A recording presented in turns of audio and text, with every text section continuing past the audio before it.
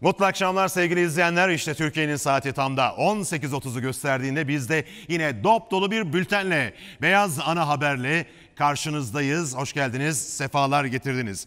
Keyfimiz de çok yerinde yok. Çünkü bakın yine İsrail dünyanın tam da gözünün önünde soykırımına devam ediyor. İsrail uçakları bu kez Refah kentinde bulunan çadır kente hedef almıştı. Ve füzelerle gerçekleştirilen o saldırıda çoğunluğu da kadın ve çocuklardan oluşan 45 masum sivil hayatını maalesef kaybetti.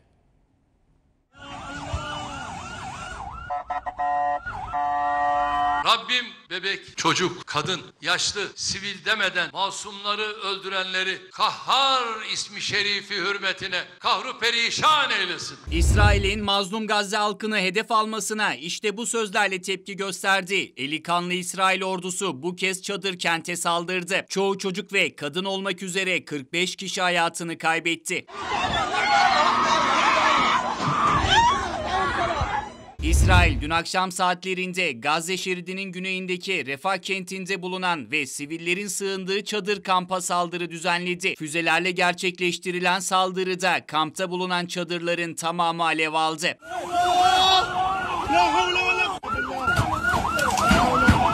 Saldırıdan sağ kurtulmayı başaranlar çadırların içinde mahsur kalanları kurtarmaya çalıştı. Çadır kentte yaşanan insanlık dramı kameralara böyle yansıdı. Kampta bulunan insanların canlı canlı yakıldığını aktaran Filistin Kızılay'ı saldırıda hayatını kaybedenlerin sayısının 45'e yükseldiğini duyurdu. Ölenlerin çoğununsa kadın ve çocuklardan oluştuğu belirtildi.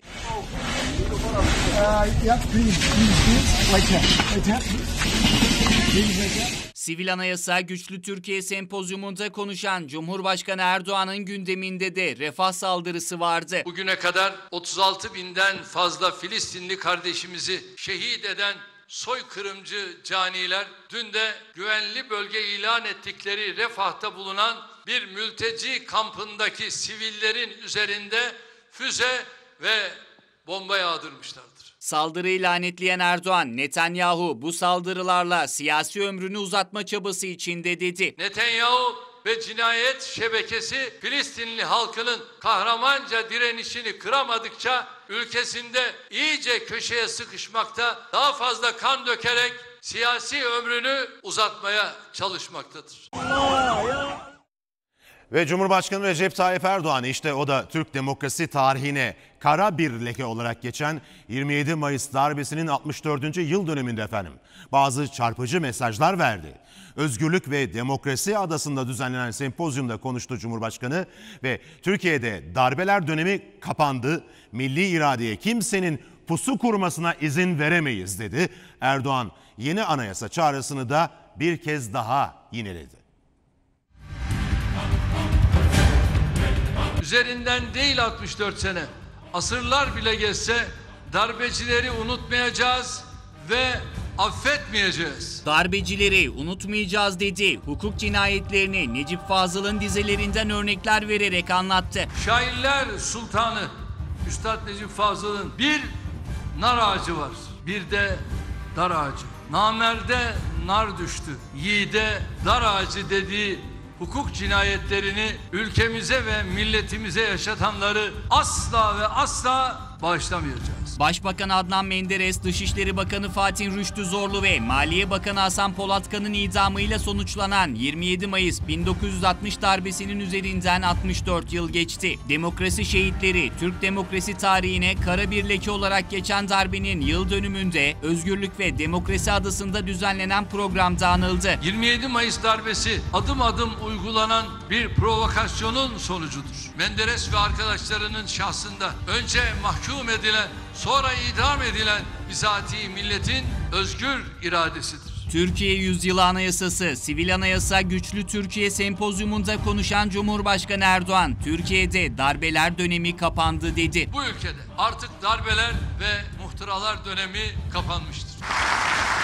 Bu ülkede fezlekeler, iddianameler, tetikçiler ve terör örgütleri üzerinden siyaset mühendisliği yapıldığı günler sona ermiştir. Türkiye'de iktidara gelmenin, hükümet etmenin bir tane yolu vardır. O da milletin aziz iradesinin özgürce tecelli ettiği sandıktır. En fazla darbe girişimine maruz kalan hükümet izleyen Erdoğan, Türkiye'nin geçmiş anayasalarını da eleştirdi, yeni anayasa çağrısını bir kez daha yineledi. Milletin fikri, talepleri, endişeleri ve beklentileri dikkate alınmadan, uzlaşma aranmadan yapılan anayasalar doğumundan itibaren sakattır, özürlüdür, sorun çözmekten ziyade kriz üretmeye daha yakındır. Çerçevesini darbecilerin çizdiği, dili sorunlu, elitlerin uzlaşısını yansıtan mevcut anayasamızda yola devam edemeyiz. İçinde bulunduğumuz 28.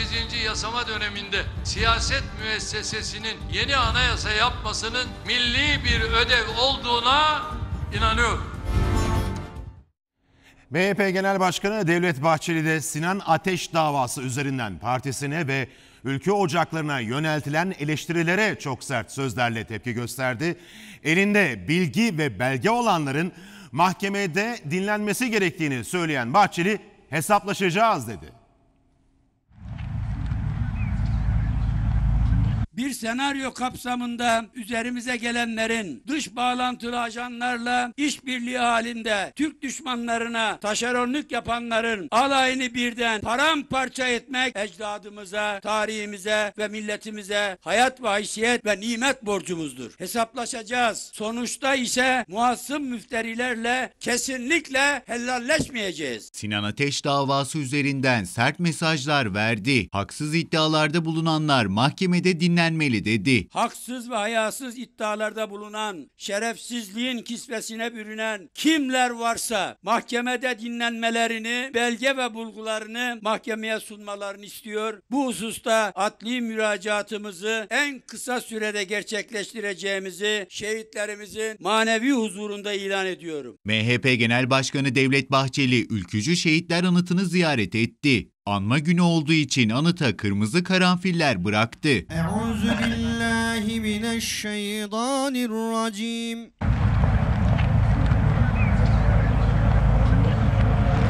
Ziyaretin ardından kameraların karşısına geçen Bahçeli, şehitlerin hatıralarının yad edileceğini söyledi. Allah var, gam yoktur. Türk milleti var, karamsarlık yoktur. Şehitlerimiz var, davamız, vatanımız ve milletimiz bakidir. Bahçeli konuşmasında partisi ve ülke ocakları ile ilgili tartışmalara da değindi. Sinan Ateş davası üzerinden sert Hain saldırılara cesaretle direniyor. Ülkücü olmanın zor, ülkücü kalmanın daha zor olduğu bir zamanda ülkücü görünen, ülkücülükten geçinen, ülkücülüğü meslek edinen muhterislerin kirli oyunlarını da teker teker bozuyoruz. Elinde ve vicdanında ülkücü kanı taşıyan alçaklarla kesif bir hesaplaşmayı buradan teklif ediyor. Buna da hazır olduğumuzu söylüyorum. Ve şampiyonluk düğümü çözüldü efendim. Geçtiğimiz hafta kendi sahasında 10 kişi kalan Fenerbahçe'ye 1-0'la boyun eğen Galatasaray Süper Lig'in işte son haftasında deplasmanda Konya Spor'u yendi ve şampiyonluğa ulaştı. Karşılaşmanın ardından yurt gelininde bazı kutlamalar vardı evet ama sevincin dozunu kaçıran yine bazı taraftarlar kutlamalara bakın nasıl gölge düşürdü.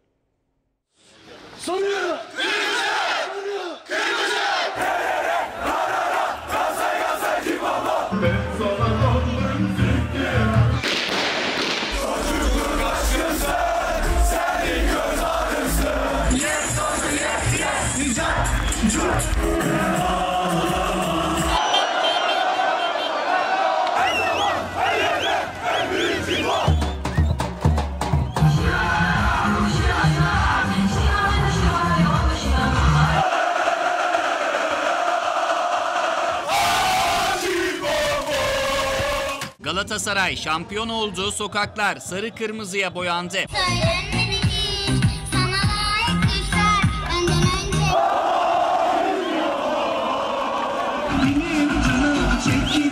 Futbol severlerin gözü kulağı dün Konya'daydı. Ligin son haftasında Konya Spor'a konuk olan Galatasaray rakibini 3-1 mağlup ederek 24. şampiyonluğuna ulaştı.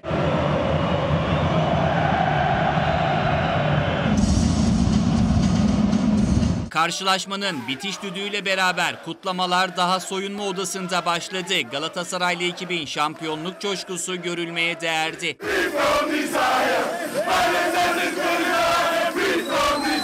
Kameraların karşısına geçen Galatasaray Teknik Direktörü Okan Buruk, sarı kırmızılı ekibin salona girmesiyle büyük bir şok yaşadı. Takımın mutluluğu kameralara böyle yansıdı. Yani Konya Sporu Fenerbahçe yenemedi ama biz yendik.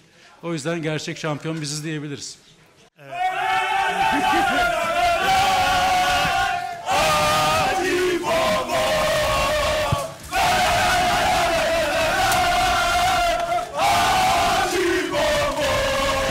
Galatasaray Başkanı Dursun Özbek ise taraftarlara böyle seslendi. Şampiyonluğu doya doya kutlasınlar. İstanbul'u sarı kırmızıya boyasınlar istiyorum kendisine. Taraftarlar sokağa döküldü. Türkiye'nin dört bir yanında şampiyonluk kutlamaları vardı. Sabaha kadar süren kutlamalarda kameralara birbirinden ilginç görüntüler yansıdı. Bursa'da Galatasaraylı bir grup şampiyonluğun ardından Fenerbahçe bayrağıyla örtülmüş boş bir tabut taşıdı.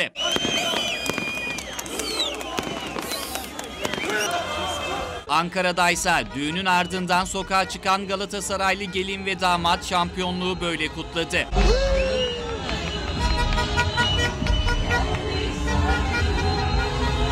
Ağrı'daki düğünde ise düğün unutuldu maç keyfi başladı. Salona kurulan dev ekranda misafirlere maç keyfi yaşatıldı.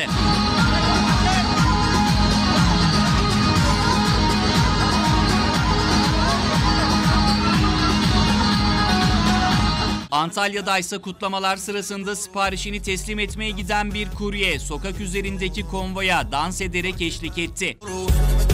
Dans etmem gerekiyor oğlum Fark etmem gerekiyor oğlum Antalya'nın başka bir köşesinde kaydedilen bu görüntü ise şampiyonluk kutlamalarına gölge düşürdü. Evinin balkonundan pompalı tüfekle etrafa ateş açan şahıs polislerce yakalandı.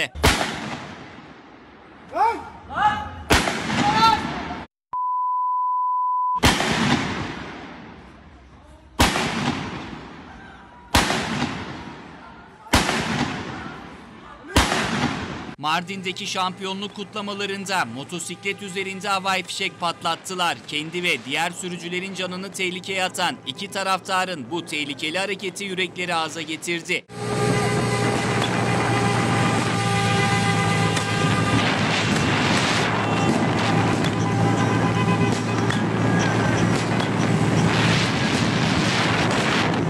Şanlıurfa'daysa ezeli rakiplerin taraftarları şampiyonluğu birlikte kutladı. Düzce'deki Fenerbahçeli taraftarsa onlar kadar şanslı değildi. Galatasaraylıların şampiyonluk kutlamasını hüzünle izledi.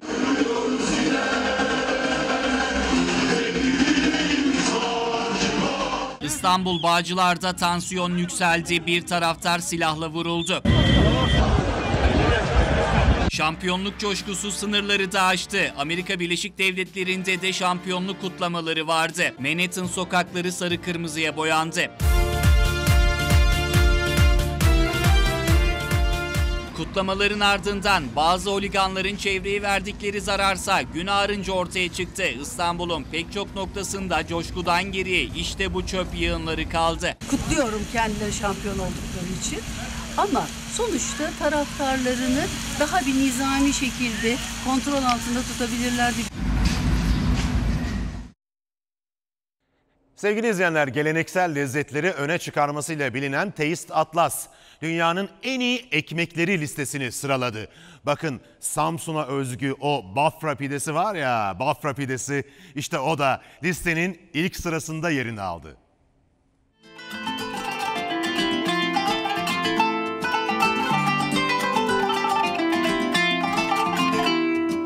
Uzun ve gevrek olması. İçerisinde kıyma, karabiber, tuz vardır. Bizim 3 çeşit pişirme tekniğimiz var. Toplama, kızartma, gevretme. Toplam 25 dakika. İlk sırada olmasını hak ediyor mu sizce Bafra pidesinin ekmekte ilk sırada yer alıyor? sırada olabilir. İlk sırada olabilir hayatım. Ve oldu da. Oldu da. Lezzeti damaklarda tat bıraktı mı?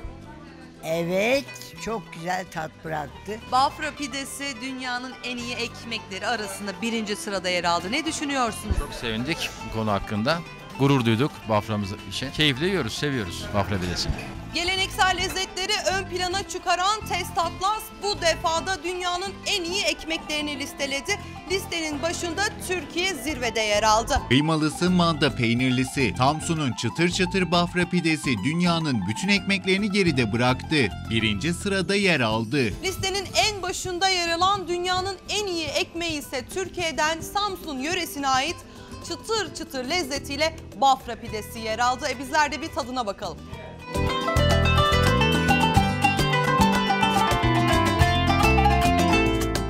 Ya biz açıkçası çok sevindik, çok mutlu olduk. Biz Türkiye birincisi olacak derken dünya birincisi oldu. Bize bu bizi çok şaşırttı. Zaten bunu hak ediyordu. Biz zaten kendimiz de Samsun Bafralıyız zaten. Bunu dile getirmek çok zor yani. Çok güzel oldu bizim için. Dünyanın en çok takipçiye sahip ve saygın gastronomi rehberlerinden biri olan Taste Atlas, dünyanın en iyi ekmekleri listesini güncelledi. Gevrekliğine meşhur, ağızda dağılıyor.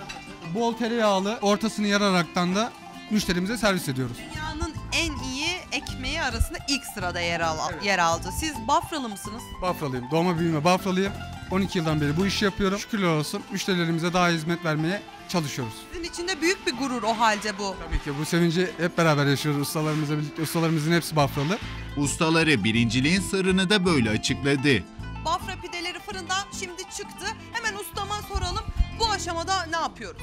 Pidemizi ilk önce fırından geldikten sonra altını üstünü güzel yine siliyoruz. Sildikten sonra pidemizin ortasından yarıyoruz. Yardıktan sonra yağlama işlemi.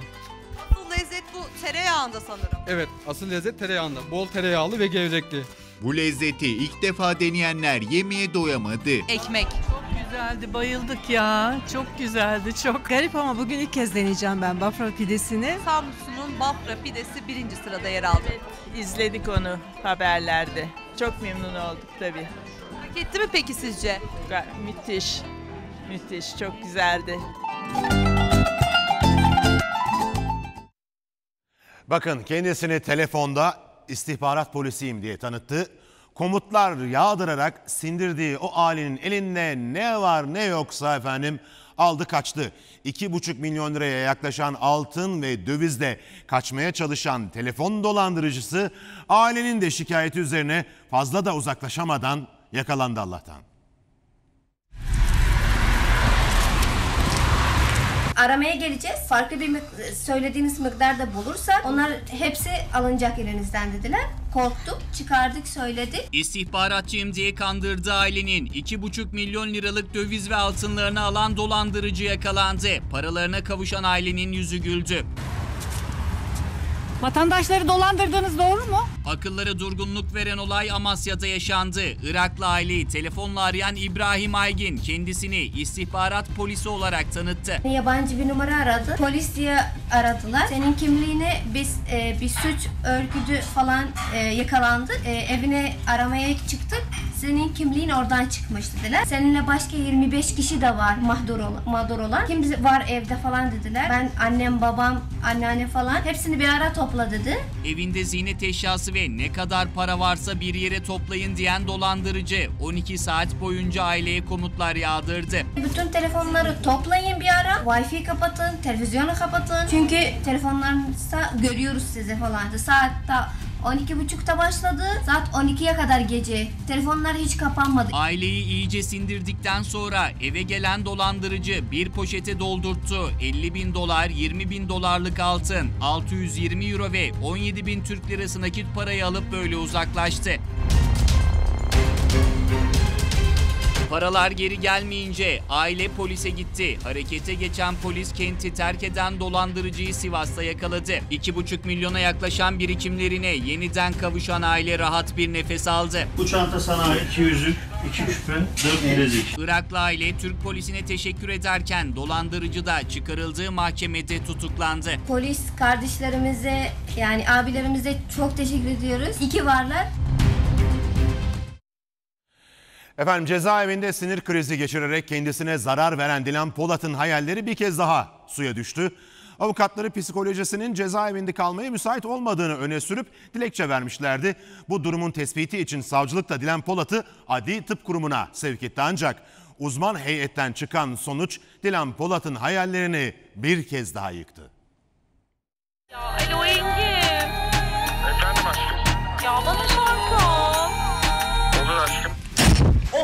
Dilan Polat 11 gündür burada kalıyordu. Jandarma ekipleri de kapının başında bekliyor. Merakla beklenen adli tıp raporu çıktı. Özgürlük hayalleri suya düşen Polat yeniden geldiği Bakırköy Ruh ve Sinir Hastalıkları Hastanesi'nden istediği raporu alamadı. Polat'ın tedavisine cezaevinde devam edilecek. Dilan geçmiş olsun. Kara para aklama ve vergi kaçırma suçlarının da aralarında bulunduğu 4 ayrı suçtan tutuklanan sosyal medya fenomeni Dilan Polat 6 aydır cezaevinde. Hadi.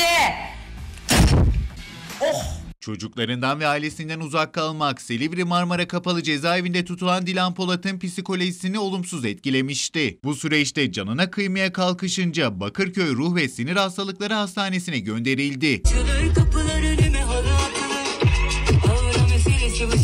11 günlük tedavinin ardından yeniden cezaevine gönderilen Dilan Polat'ın avukatları da yeni bir dilekçeyle tahliyesini talep etti. Sağlığının cezaevinde kalmaya uygun olmadığını öne sürdüler. Alayınıza yallah. Enerji. Hadi boş yapmayın be. Bu talebi değerlendiren savcılık Dilan Polat'ın sağlık durumunun tespiti için Adli Tıp Kurumu'na gönderilmesine karar verdi.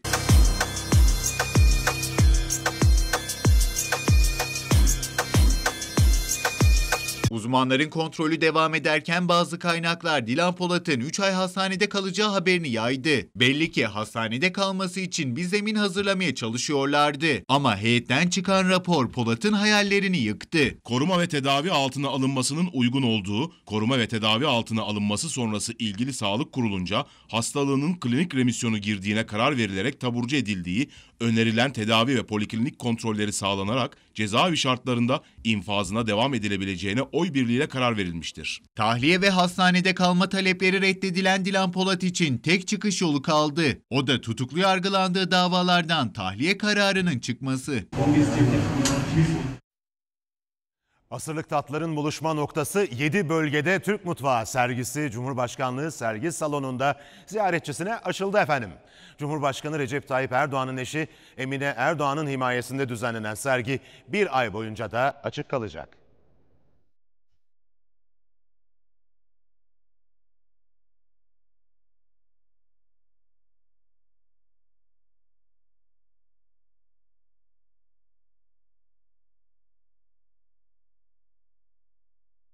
Annemle geldim güzel bir sergi. İnsanlığın midesini açıklayan bir sergi olmuş gerçekten. Anadolu'nun her tarafından lezzetler yerleştirilmiş burada. Hem yemek çeşitliliği hem yöresel lezzet zenginliği. Dünyanın en çok tercih edilen mutfaklar arasında olan Türk mutfağı külliyede ziyarete açıldı. Anadolu adeta insanlığın, medeniyetin, kültürel gelişimin bilgi bankasıdır.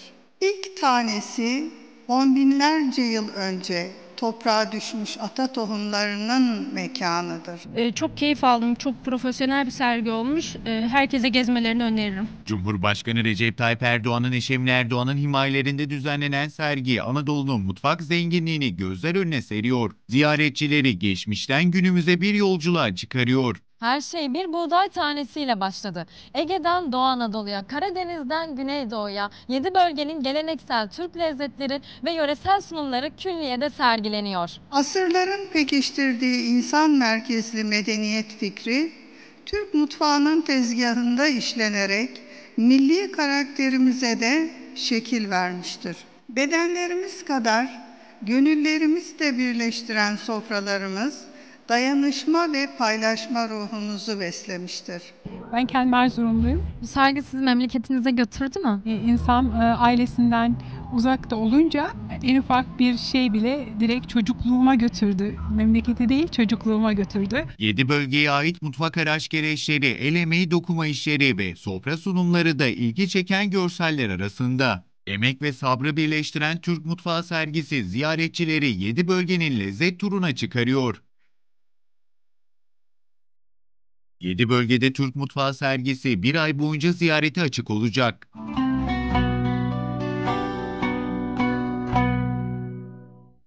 Şarkıcı Sinan Akçıl da Fransa'da verdiği konserde İsrail'e ve Netanyahu'ya seslendi efendim. Sanatçının Beni dinle Benjamin Netanyahu derhal bu vahşeti durdurmalısın sözleri işte sosyal medyada aslında büyük e, beğeni topladı ve sanatçı yine konser için gittiği İzmir'de de talihsiz bir olay yaşadı. Kapat gözlerini daha iyi anlasın beni Fransa'da konser veren Sinan Akçıl, soykırımcı Netanyahu'ya ve İsrail'e seslendi. Écoute-moi Israël, écoute-moi Benjamin Netanyahu. Tu dois immédiatement arrêter cette brutalité. Dünyanın Fransız kaldığı katliama Fransızca konuşarak tepki gösteren Akçıl, çocukları öldürmeyi durdur diyerek İsrail'e seslendi.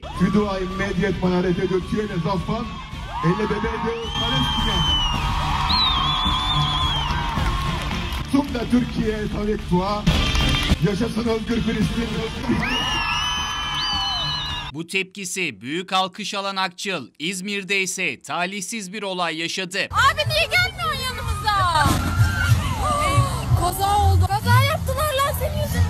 Sinan Akçıl konser için İzmir'deydi. Bir arkadaşıyla birlikte caddede yürüyordu arkadaşı. Akçıl'ın videosunu çekerken bir hayranı da onları kaydediyordu.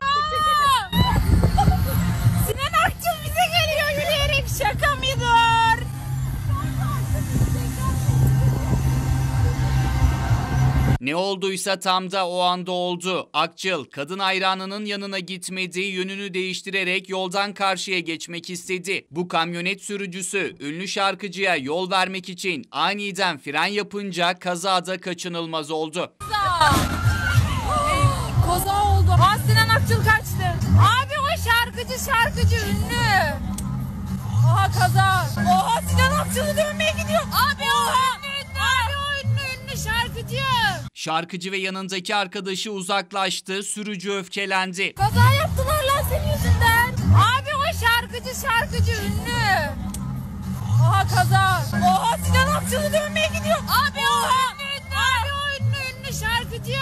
Kazayla ilgili açıklama yapan şarkıcı, kaza yapan sürücüyle görüştüğünü ve gerekeni de yapacağını duyurdu. Kaza oldu. Beyaz Ana Haber bütün hızıyla devam ediyor. Sevgili izleyenler bakın İstanbul Esenler Güne korkutucu bir patlama sesiyle uyandı. Dört katlı bir binanın girişinde bulunan rögar henüz bilinmeyen bir nedenle bomba gibi patladı. Patlama öylesine şiddetliydi ki giriş katta bulunan bir dairenin duvarı bakın böyle yerle bir oldu. O sırada duvarı yıkılan evde kimsenin de olmaması facianın aslında önüne geçti.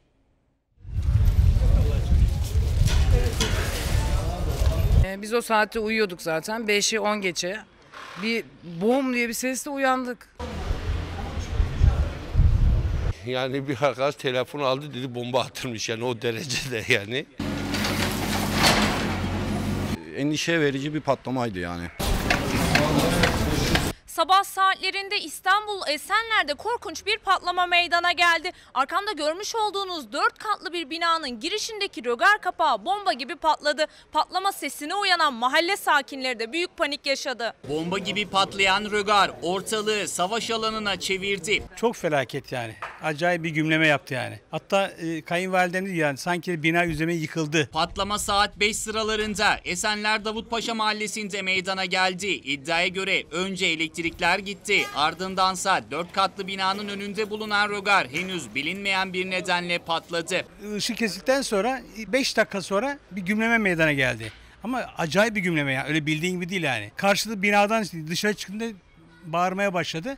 Ve millete dışarı çıkma başladı o anda. Yani bayağı büyük bir patlama oldu yani. Mahalle sakinleri şiddetli patlamayı bomba zannetti. Herkes sokağa döküldü. Doğalgaz veya tüp diye endişelendik. Çocukları hemen aldık dışarı çıkardık. Ondan sonra patlama devam etti yani ara ara. Bir kilometre var, ben bu şu üstte oturuyorum ses oraya kadar geldi yani. Bütün herkes zaten aşağıya indi. O an bir panik yaşadık. Allah'tan evde kimse yok. Yaşanan patlamada oluşan basınçla birlikte en büyük zararı 4 katlı binanın giriş katındaki bu daire aldı. Patlamayla birlikte binanın giriş katındaki bu dairenin de duvarı tuzla buz oldu. Ağır hasar alan dairede içeriği görmek mümkün hale geldi.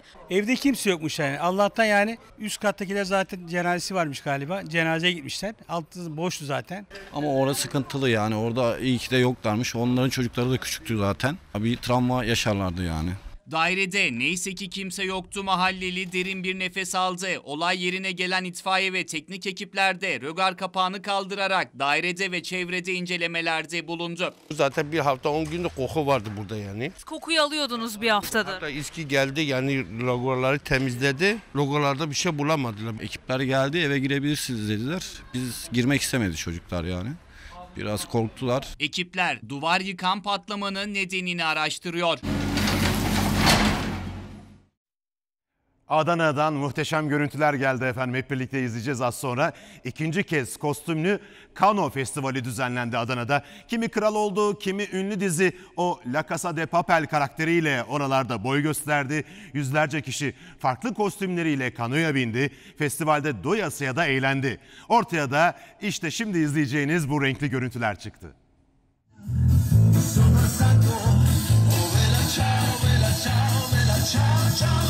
Çeşit çeşit kostümler giydiler. Kanolarla Seyhan Nehri'ne açıldılar.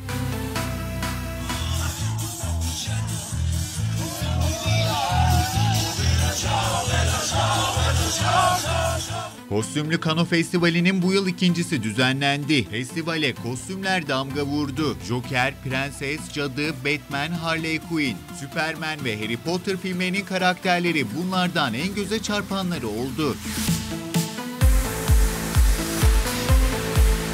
Kostümlü festivale katılanlar doyasıya eğlendi. Sprey boyalarla her yeri boyadılar. Ellerindeki sahte paraları etrafa saçtılar. Meşalelerle adeta tozu dumana kattılar. Ardından sıra kanoya geldi. Kostümleriyle kanolara binen yüzlerce katılımcı Seyhan Nehri'ne açıldı. Renkli festival bu görüntülerle son buldu.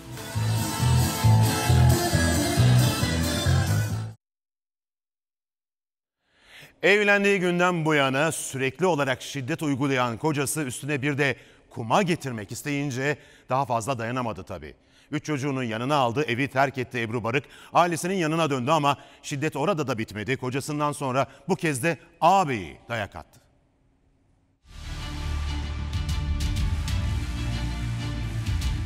...13 senedir evliyim. Sürekli eşim şiddet uyguluyor. Eşim yapmasa ailem yapıyor. Kadına yönelik şiddet dinmiyor. Eşinin şiddetinden kaçan üç çocuk annesi kadını bu kez de ağabeyi dövdü. Canımı kurtardım. Çünkü beni hala ölümle tehdit ediyorlar. Ben de diğer kadınlar gibi ölmek istemiyorum. 13 yıl önce evlenen Ebru Barık sürekli şiddet uygulayan kocası üzerine bir de kuma getirmeye çalışınca daha fazla dayanamadı. Üç çocuğunu da yanına alıp evi terk etti. Benim eşim iki defa evlilik yaptı. Resmi nikah bende olmasına rağmen iki sefer evlilik yaptı. Biri dayı kızı kuma getirdi, biri de hala kızı getirdi. Çocuklarıyla birlikte Ereğli'ye yerleşen 30 yaşındaki Ebru Barık yeni bir hayat kurmaya çalışıyordu. Tekrardan ailemin yanına geldim. Orada da kendime bir ev tuttum. Geçimimi tarlada sağlayarak, ev temizlik işlerine giderek üç çocuğumla ayaklarımın üzerinde durmaya çalışıyordum. Kocasının şiddetinden kaçan Ebru bu kez de ailesinin hışmına uğradı. Kendisine destek olacağını umduğu ağabeyi eniştesinin dolduruşuyla evini bastı. Seni istiyorum falan gibisinden deyince ben de kabul etmeyince bu sefer bunu benim kardeşimi arayarak git bacını öldürmesini istemiş. O da geldi beni bu hale soktu öldüresiye. Ağabeyi ve yanında getirdiği dini nikahlı eşi evde terör estirdi. Sadece Ebru'yu değil çocuklarını da dövdüler. Evimize gelip bizi darp ettiler ve bizi bu hale soktular. Koluma değnekle vurdu. Onları gürültüye çıkan ev sahipleri kurtardı. Ağabey ve yengesi kaçınca hastaneye giden Ebru Barık darp raporu alarak şikayetçi oldu. Kardeşim de olsa, eşim de olsa bunlardan şikayetçi davacıyım. Ben de diğer kadınlar gibi ölmek istemiyorum. Antalya'nın Gündoğmuş ilçesi burası efendim. Bir aracın çarptığı yaralı sediye değil de tabuta konuldu. Ölmeden tabuta giren o talihsiz adam hastaneye de kamyonetle götürüldü. Şu arabanın kim gönderdi onu? Nereye gitti? Ben çağırdım. Doktor hanım bir sıkıntı olur mu o şekilde götürmelerinde? Aracın çarptığı adam yaralandı. Çevredekiler yardımına koştu ama yaptıkları yaralının az kalsın yüreğini indiriyordu. Ambulansı beklemeyen mahalle sakinleri yaralıyı nereden temin edildiği bilinmeyen üstü açık bu tabuta koydu. Olana bitene kimse bir anlam veremedi. Doktor hanım bir sıkıntı olur mu o şekilde götürmelerinde? Bu da yetmezmiş gibi tabuttaki yaralı bir kamyonetin kasasına yüklendi. Talihsiz yaralı hastaneye tabut içinde kamyon kasasında götürüldü. Problem. O ilginç anlar çevredekilerin cep telefonu kamerasına böyle yansıdı. Efendim burası Artvin Borçka. İşte Borçka'da aç kalan ayı elektrikli çitleri de aşarak bal dolu kovanları talan etti. Tam 25 de kovana zarar verdi. Üretici Kenan Mertürk çok dertli aslında biraz da takdir etti ayıyı. Yani elektrikli çit dahil aldığı tüm önlemlere rağmen kovanlarını parçalayan o ayıya vallahi helal olsun dedi. O ayının da kendisine taktığını düşünüyor. Ayı olayı taktı bana kafayı. En iyi müşterim benim ayı. Beni bırakmıyor. Aç kalan ayı elektrik çitlerini aşarak bal dolu kovanları talan etti. Ayı mağduru üretici bana kafayı taktı dedi. Buradan gelmiş. En zayıf noktadan dolaşmış. Orasını bulmuş. Kestane balı üretimi yapan Kenan Mert Türk'ün ayılarla başı dertte. Kovanlarını nereye koysa bal düşkün ayılardan kurtulamıyor. Dünyanın en kaliteli, en iyi kestane balını üreten bir bölgedeyiz. Tam dönemi maalesef bizim hayvanın yaptığı bu. Şimdiye kadar 4 kez kovanları ayının saldırısına uğradı. Mert Türk her seferinde yerlerini değiştirmek zorunda kaldı. Nedense, nedense bu benim ayı benim peşimi bırakmıyor. Ya kaç sefer ayı arımı yedi. Yukarı götürüyorum. Oraya geliyor. Buraya getirdim. Burada benim peşimi bırakmıyor. 25 yeni kovan yerleştiren Mert Türk bu kez tedbirleri arttırdı ama bu bile ayıları durduramadı. Elektrikli çip çektik. Ee, yanan sonen lambalarımız var. Onu taktık. Olmuyor, olmuyor. Beni de çok sevdi herhalde. Benim balı da çok sevdi. Korktuğu yine başına geldi. Elektrikli çitleri aşmayı başaran ayı kovanları bir kez daha parçalayarak ballarını yedi. Ha çarpılmış elektrikli çite ama dışarı koşacağına içeri koşmuş. Bal tarafına koşmuş. Aha katkısız, katkısız kestane, sav kestane balı. E, ay niye yemesin gelip de yani? Mert Türk 300 bin lira zararı olmasına rağmen ayıya yediği balları helal etti. Maddi olarak en az 300 milyar. 300 milyar zararım var. Ne bileyim yedi helal olsun da ne diyeyim ben başka yapacak bir şeyim yok yani. Efendim bu haberle birlikte Beyaz Ana Haber'in sonuna gelmiş olduk. Yayınımız Beyaz TV klasiği sür manşetle devam ediyor.